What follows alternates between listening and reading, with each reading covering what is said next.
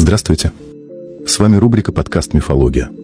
Слышали про такое мифическое существо, как Айдахар? Наверняка да. Но в курсе ли вы, что Айдахар – это не конечная стадия эволюции этого водяного демона?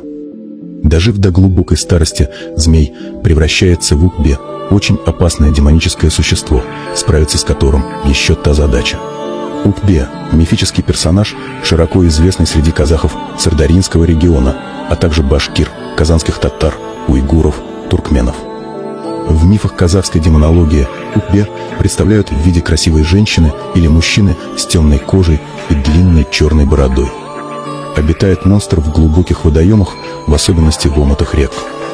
Он зазывает проходящих по берегу людей, называя их по имени, завлекает обманом в воду и утаскивает в мрачные глубины. В одной из версий мифа Упве даже может вступить в брак с человеком, при этом предъявляет ему ряд условий. Например, супругу нельзя смотреть, как Упве будет расчесывать свои волосы. Нарушив этот запрет, несчастный становится свидетелем демонического преображения своей жены в ужасного монстра. Единственный способ справиться с этим чудовищем – победить его в безводном месте.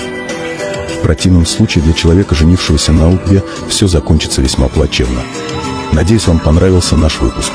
Прошу поделиться своими мнениями в комментариях.